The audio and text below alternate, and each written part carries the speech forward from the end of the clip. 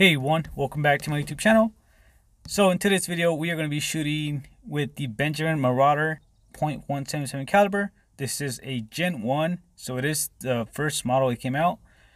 Um, I am going to be doing a little bit of comparison between the 12 and a, and a half grain NSA slugs versus Crosman pellets. We are going to be looking at the 10 and a half grain Crosman domes Ultramag and we will also be looking into the eight and a half grain uh, Crosman hollow point pellets. We are going to be doing a five shot group out to 50 yards, and I can tell you guys that this gun is pretty accurate. Um, so there is a little bit of breeze, not too. The wind has uh, calmed down. Um, works. I will be showing you guys a little bit of velocity so you guys can see the energy I am putting out. I do have this the Benjamin Marauder tuned to about uh, 12 to 13 foot pounds in .177 caliber. So that is going to be pretty cool. Um, it is doing a little bit more energy with the pellets. Um, I'm not exactly sure of the energy it's pushing, but it's gripping really good. So yeah, let me show you the guns and let's get shooting. All right, guys. So I thought maybe you guys would want to see some of the the desert how everything has grown now um, so now you can't really see the whistle peaks since everything has grown. As you guys can see this here is pretty tall. You can see a little bit of the breeze moving the whatever these things are called. So yeah let me show you around first and then we will start shooting. So my target is to be that one up there. That is 50 yards from here.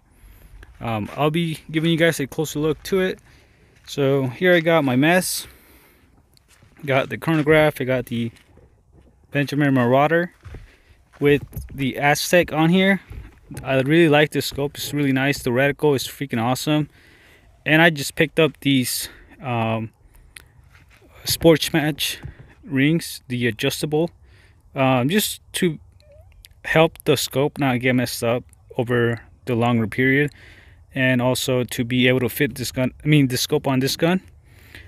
So yeah that is pretty cool. So here I have some of the slugs the 12 and a half grain NSA slugs. You can see they're little baby slugs. Got the um, 10 grain and a half Ultramag. And then here I have some of the hollow points as well. These are about seven to eight grains. So yeah um, let's shoot some pellets and some slugs out to 50 yards. Um, let me go show you the target first. And I am going to be shooting at the um, shots I have taken. I, am going to be using them as my point of aim. Um, but yeah let's let's go down range and look at the target. So this will be my target. These dots are going to be my point of aim. So one two and three. Like i said i am going to be shooting three different projectiles. Um, and yeah.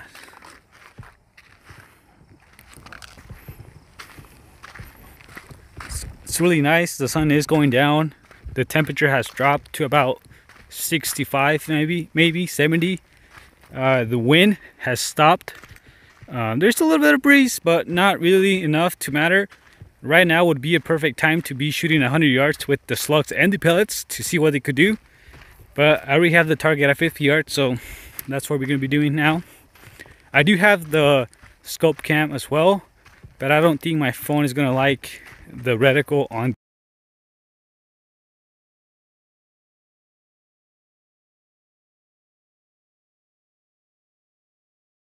all right guys so here's what I've been working on um, so I got a spotting scope. I did add some a little bit of tape on here and then I made this myself. Hopefully you guys can see it. It is PVC pipe um, with glue on there. Basically what I'm going to be doing is putting this on here and you guys are going to be able to watch through the um, spotting scope. So let me put it together. I do have everything ready to go now. I got all right guys I got it to work now.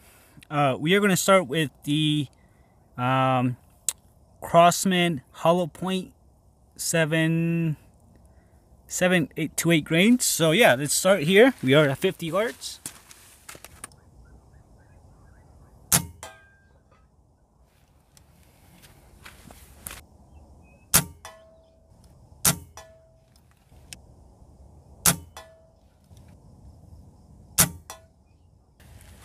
Okay, we're going to be continuing out with the 10 grain Crosman domes. So 10 grain Crosman domes.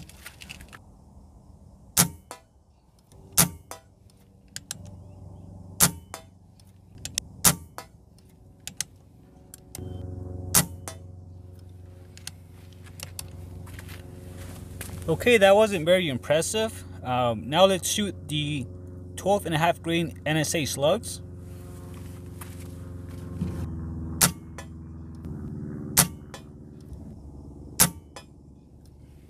Really, really impressive, guys. NSA 20, NSA 12 and a half grains at a really slow velocity. And we got a flyer, huh?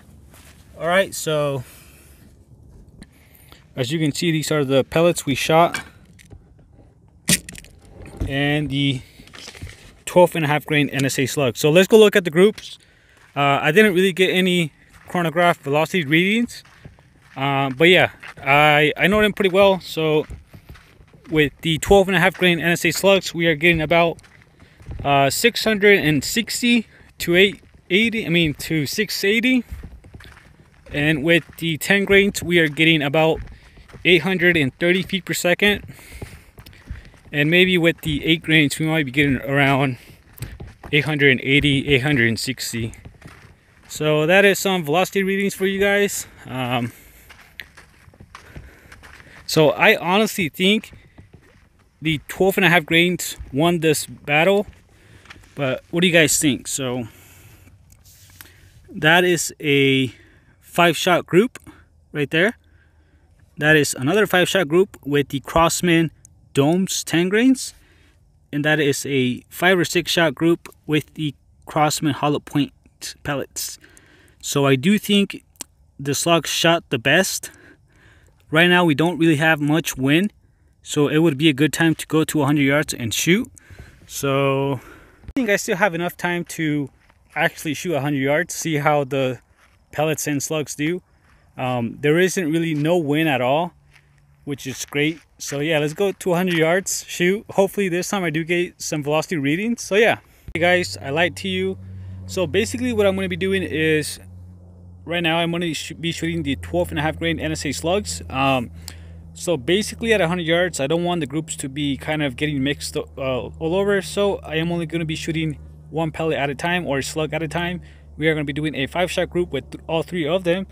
Hopefully i have enough time. So yeah let's continue with the 12 and a half grain slugs. I'll try to get you guys some velocities i'm not promising anything but let's try it too.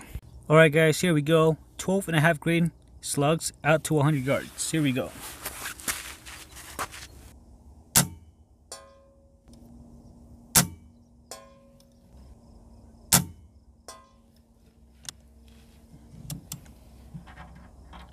Can you guys believe that?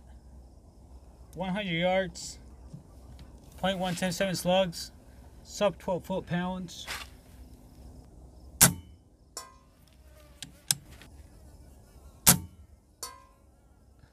Okay guys, I pulled the last shot, so let me take one more. Um, like I said, I did pull the last shot. So let's see.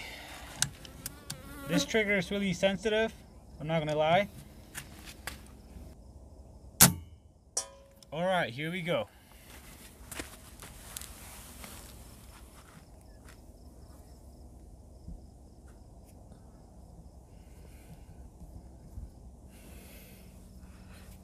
All right, guys, what do you guys think? You guys want to go down range and take a look at the group? Um, you guys are still on the spotting scope. I need to take you guys off. All right, guys, so let's go down range, take a look at the groups. I think it's going to be about a two inch group um, you know like I did say I did kind of uh, pulled one of the shots which was the fifth shot. Um, the second the sixth shot I did kind of I, I just kind of like maybe like missed or something but yeah the fifth shot I did kind of pull the tri trigger. It was a little bit sensitive. Um, yeah let's see what kind of group it is. Like I said I think it might be a two inch group. If it's anything under that it's gonna be pretty cool it is what it is we'll be shooting some of the pellets as well so yeah all right So I'm not going to be counting the, the fifth shot I took. I will only be, be counting the other two, I mean the other five. So here is the group. That is about one inch. So let's see. About two inch, two inches. Like I said, I'm not going to be counting this one here. So two inch group. And that would be about an inch. Definitely about an inch. So yeah, pretty impressive. Let me paint this and then we continue with the pellets. So just so you guys know, I did have to um, do a holdover for 14 MOA, just so you know, um, on the scope. I think I have the 12 and a half grain NSA slugs zero at 25 yards, I believe, because it is 12 foot pounds. So yeah, let's continue.